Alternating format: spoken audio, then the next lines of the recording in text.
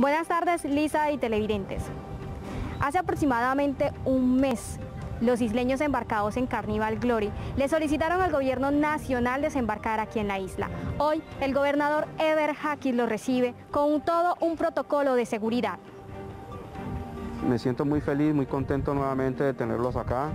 Eh, el gobierno nacional pues eh, pendiente, tenemos todos los protocolos activados, todos los temas de las pruebas solicitadas para que antes que se bajen. Eh, van a estar en el Sol Caribe en cuarentena y pues nos sentimos muy satisfechos. Hemos hecho un esfuerzo grande, el gobierno nacional también. Mm, es fácil para, para estos cruceros pues dejar a la gente aquí y no tener que buscar otro vuelo, ya que están en el mar pues es la lógica decir, déjenlos acá, estamos en el mar Caribe, entonces que vengan acá es, importante y, lo que buscamos desde luego es que ellos directamente puedan desembarcar eh, con todos los protocolos eh, debidos.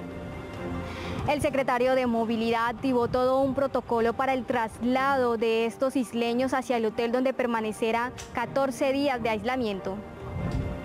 El protocolo prácticamente es en virtud de la resolución 666 y adoptada mediante la resolución 677 del Ministerio de Salud para efectos de eh, transporte terrestre. Este protocolo establece que los buses no deben de tener una capacidad sino del 35% de su capacidad, solamente pueden transportar para guardar el distanciamiento social, todos con tapabocas y a distancia del señor conductor, sin, sin contacto alguno con ellos. Los 39 isleños fueron sometidos a un proceso de bioseguridad para después ser trasladados hacia el hotel. Esta es toda la información. Lisa, sigue usted en estudio.